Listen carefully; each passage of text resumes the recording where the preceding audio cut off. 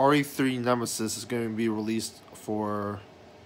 I don't know which console, but it's going to get released. Uh, there's rumors about it. It's finally happening. Nemesis is going to be the main bad guy. Hopefully, they'll do something with Nemesis, like with Mr. X. Zero punctuations. The Escapists, zero punctuations. Yahtzee, Croshaw stated that Resident Evil 3, the downfall of the original trilogy, of the PlayStation trilogy. I don't really play much of it. Um, there's always camera angle issues, of course. I don't know if it really win popularity. I didn't really see the numbers. That's what he says. People loved RE4. I mean, I felt there were character issues. Presentation good. The game was fun, etc. What are your thoughts on subscribe?